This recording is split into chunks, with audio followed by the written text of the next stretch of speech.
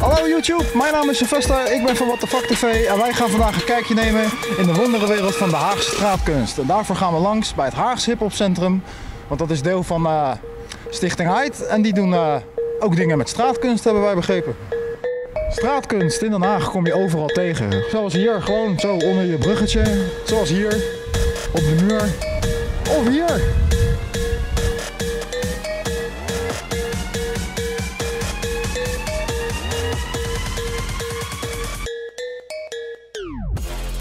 Oké, nou. Eh, wij zijn hier samen met... eh, Davy de Ronde. Leo Heustens. en, eh, we zijn bij Stichting AID. Eh, ja, vertel eens, wat doet Stichting AID precies? Eh, Stichting Uit is eigenlijk een beetje een soort paraplu-organisatie wat zich bezighoudt met, eh met hip-hop in Den Haag en omstreken. Eh, Stichting Uit heeft een aantal projecten onder zich, eh, waaronder het hip-hop centrum waar jullie vandaag zijn, het Haagse hip-hop centrum. En natuurlijk de Heek Street Art. Eh, de Heek Street. Eh, vertel er eens wat over. Want dat is onderdeel van Stichting AID. Maar ja, hoe? Dat... Ehm, nou ja, wat eh, Davy net al zei, ehm, eh, Stichting AID houdt zich bezig met alle aspecten van hip-hop. En een van die aspecten is ja, graffiti en straatkunst. Ehm, zo zijn we ook ooit begonnen. Toen heette het nog het Haagse Graffiti Platform. Ehm, daarbij hebben we ons ingezet ja, voor graffiti in Den Haag. Eh, een aantal eh, legale locaties eh, verwezenlijkt. En een, platform opgezet voor graffiti-kunstenaars om, eh, nou, eigenlijk om ze te professionaliseren en te kijken om ze te etaleren. En te kijken of we mooie opdrachten voor ze konden regelen. Jullie werken dus ook veel samen met de gemeente en zo. Ja, dat is waar. Toen het Haagse Graffiti-platform is opgezet, is dat in samenwerking gegaan met uh, Melpunt Graffiti in Den Haag.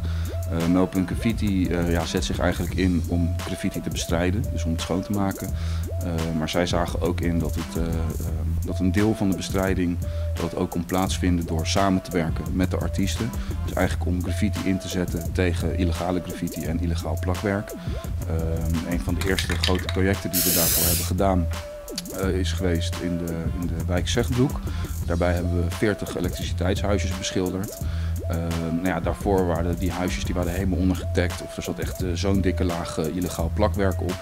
En ja, eigenlijk sinds, sinds wij ze hebben beschilderd blijven ze gewoon goed. Dus daar wordt niet overheen gespoten, er wordt niet op geplakt. Dus dat is een, ja, voor de wijk heel erg positief uitgepakt. Ook de gemeente heeft daarmee gezien van nou ja, we kunnen heel goed ook deze artiesten inzetten om uh, illegale graffiti tegen te gaan. Ehm, dus op die manier is die samenwerking eigenlijk tot stand gekomen.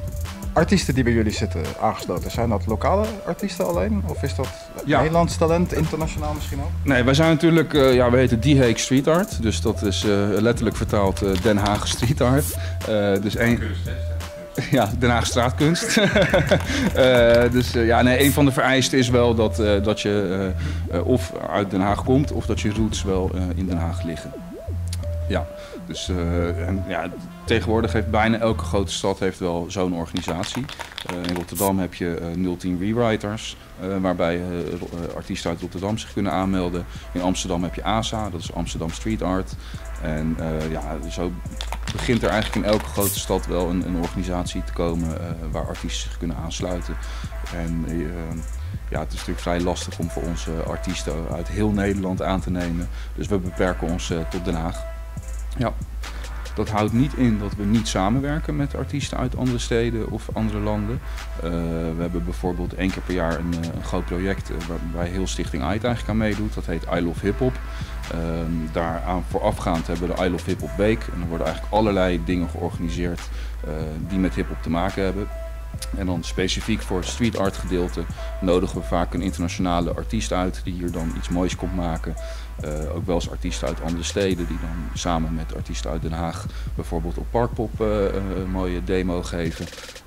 dus we werken wel samen met artiesten buiten de regio, maar in principe is ons platform echt bedoeld voor artiesten uit Den Haag of in ieder geval hun, hun roots. Voor en door Voor en door Hagenees. Dat vind ik een mooie, voor en door. En uh, de art, die, uh, die wordt gecommissied door de gemeente? Of is het ook mogelijk om als particulier uh, bij jullie aan te kloppen en te zeggen van joh, ik heb een, ik heb een muurtje. Oh ja, zeker. Nee, wij, wij staan open voor, voor ja, voor iedereen. Dus eh, het zijn inderdaad soms particulieren die denken van nou ik wil eh, iets leuks hebben op de kinderkamer. Ehm, het zijn ook bedrijven die, eh, die aanvragen doen voor gigantische wandschilderingen in, in parkeergarages of lunchrooms. We doen reclameschilderingen. Ehm, daarnaast organiseren we ook tours langs, langs onze kunstwerken. Dat is dan voornamelijk in de wijk Zegbroek. Daar hebben we echt Die Street Art Tour hebben we daar omheen ontwikkeld. Dan kan je gewoon via de VVV of zo bij komen. Nee, we hebben, ehm, we hebben een eigen website, uh, thehaguestreetarttour.com. Google hem. Google it. Google it. Eh, anyway, eh, ehm, je kan die tour kan je gewoon zelfstandig lopen. Dus je kan eh, naar de locatie toe gaan, eh, kan je de, de website openen op je mobieltje. Als je dan je locatievoorzieningen hebt aanstaan, kan, eh, kan die bepalen precies waar je bent. Dan kan je zeggen van nou ik wil een half uur wandelen of een uur wandelen of twee uur wandelen. En dan berekent hij eigenlijk een route voor je langs al die huisjes. En dan kan je hem gewoon zelfstandig kan je hem lopen. Dat is best wel high-tech man. Ja, dat is wel, wel tof. En daarnaast hebben we ook een, een papieren versie van de tour. Dus je kan ook een tourkaart ophalen. Eh, nou, die locaties waar je die kaart kan ophalen die staan op de website. Het zijn voornamelijk locaties in de wijk zelf. Dus eh, rondom die street art huisjes in Zegbroek. Ehm, maar als je heel graag een gids erbij wil hebben, kan je ook direct street art benaderen. En dan eh, kunnen wij een gids meesturen. En dat, eh, daar zijn dan wel wat kosten aan verbonden. En eh, ik heb ook gelezen dat jullie eh, workshops doen. Klopt. Bedrijfsfeestjes en zo. Ja, nou ja, ook echt voor eh, ja, graffiti en street art. eh, iedereen vindt het leuk. Echt van jong tot oud. Dus we geven workshops op naschoolse opvang. Dat zijn de kinderen van een jaar of acht die met, met verfstiftjes aan de slag gaan. We doen bedrijfsuitjes waarbij we met volwassenen echt een, een graffiti piece gaan maken. Maar ik heb ook wel eens workshops gegeven in het bejaardentehuis. En de mensen vinden het ook helemaal top. Dus het is eigenlijk van alle leeftijden. En eh, ja, we bieden daar diverse workshops voor aan.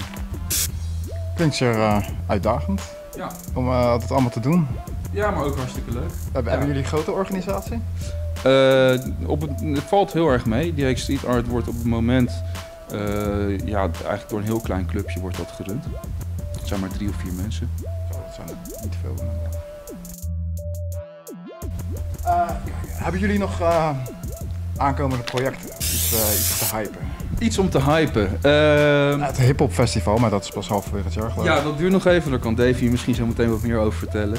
Eh, ja, iets om te hypen. Nou, wat nu de laatste tijd natuurlijk heel erg in de media is gekomen, is eh, Street Art District op de Binkhorst.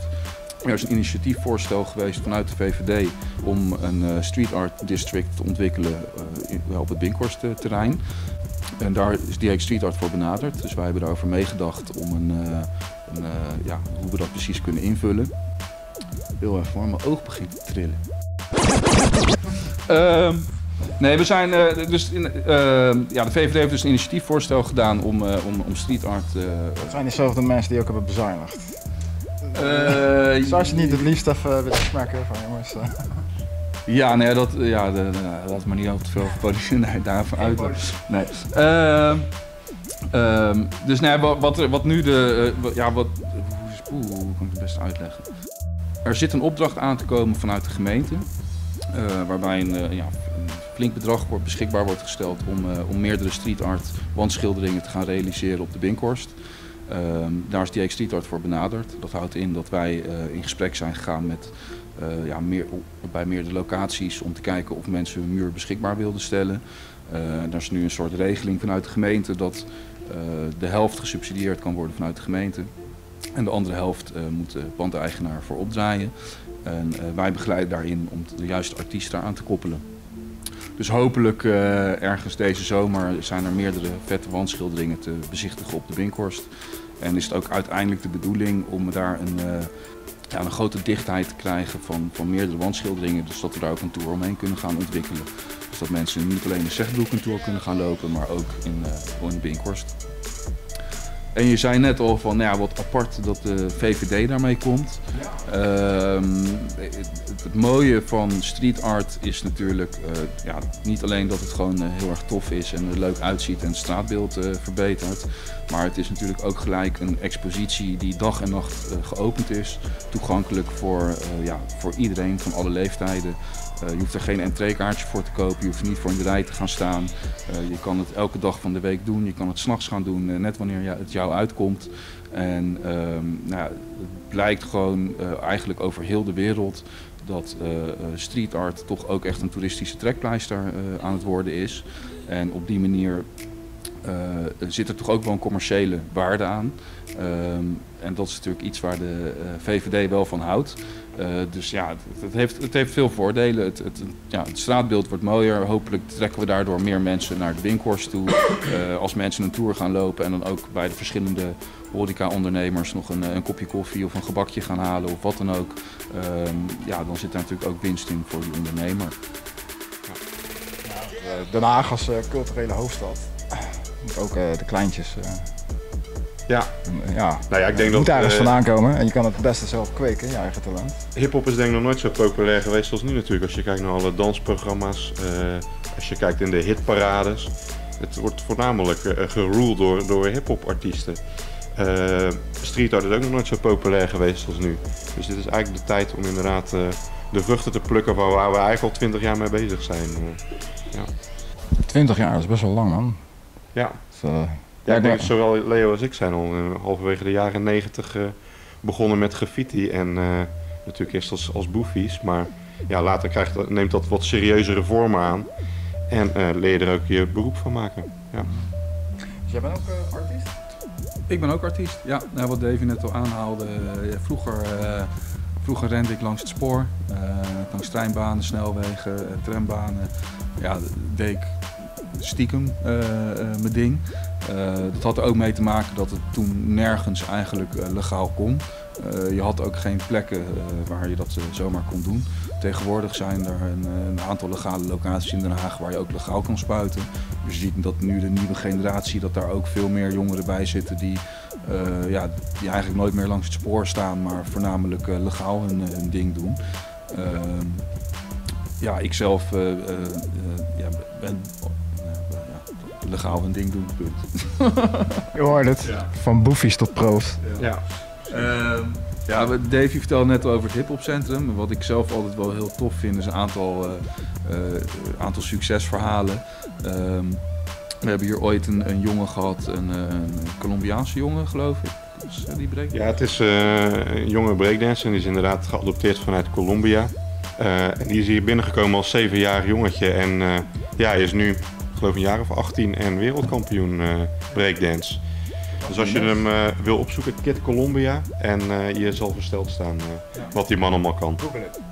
Google it. En wat ik, ja, super tof. Die jongen die reist nu heel de wereld over, is gesponsord door Red Bull. En ja, het is gewoon echt een wereldartiest. En het is gewoon super vet dat hij ooit als klein jongetje gewoon in het hip-hop centrum is begonnen. en wat ik ook altijd wel gaaf vind, is dat er ook. Ja, wij weten vaak ook jongeren te benaderen die anderen uh, niet goed weten te benaderen. Uh, ja, dat moet ik misschien wat duidelijker uitleggen. Probleemjongeren? Ja, dus uh, inderdaad probleemjongeren die, die, die, ja, die overal eigenlijk ja, uitgekotst worden of gewoon nergens geaccepteerd worden. En dan op een, een of andere manier toch vaak hun draai weten te vinden binnen het hiphopcentrum. En ik denk dat dat er ook mee heeft te maken dat ja, het grootste gedeelte van de werknemers hier uh, ja, toch ook wel boefies zijn geweest vroeger. En, uh, en op die manier ja, goed om weet te gaan met, uh, ja, met de wat lastigere jongeren uit Den Haag. Um, maar we hebben ook wel eens dat hier grote, ja, grote broers zeg maar, binnenkomen van ja, mijn broertje die, die is weer, weer vastgezeten of die is weer gepakt met blowen en van school afgekikt. kunnen jullie er niet wat mee? Kan ik hem hier niet een keer dumpen? En dan, ja, dan, komt die, komen ze vaak hun jongere broertjes hier afdroppen om, uh, om breakdance te volgen of wat dan ook. En dan zie je ze gewoon helemaal, uh, ja, eigenlijk echt een positieve draai maken. En zich helemaal focussen op, op het breakdansen, waardoor ze niet meer bezig zijn met, ja, met, met, met, met stoute dingen, zeg maar, rottigheid. En ja, dat ze hun focus echt weten te weerleggen op iets, iets positiefs. En dat is, vind ik zelf echt heel tof om, om te zien. De kracht hier zo van het hip-hopcentrum is dat het maakt niet uit inderdaad of je een tyfuskind bent. Of je bent iemand ja, uh, die uit een wat duurdere wijk komt uh, van Den Haag. Iedereen die hier binnenkomt, komt eigenlijk gewoon met eenzelfde focus binnen. Iedereen is gelijk, dus het maakt niet uit wat je sociale klasse, geaardheid, kleur of wat dan ook is. Je komt hier gewoon voor één ding en dat is gewoon toffe dingen creëren. En dat allemaal onder de noemer hip-hop. Dus dat is gewoon te gek. Helemaal amazing. Het, is, eh, het lijkt wel of jullie vaak beter werk doen dan hulpverleningsorganisaties, zo te horen. Nou, misschien ook wel. Ja. Google it. Ah, ja, nou, ik wil jullie hartstikke bedanken voor dit eh, mooie gesprek. Wij gaan nog eh, een rondje door het gebouw filmen. Gaaf. En eh, Feel free. gaan we ook nog even naar wat artwork kijken. Maar dat doen we in de montage. Dus roll die shit. Google it.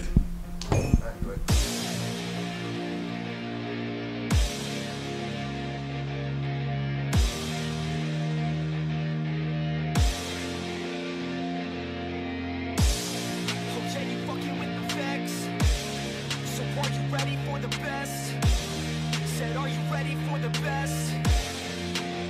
Let's go. Yeah, I said I got this, I'm in it.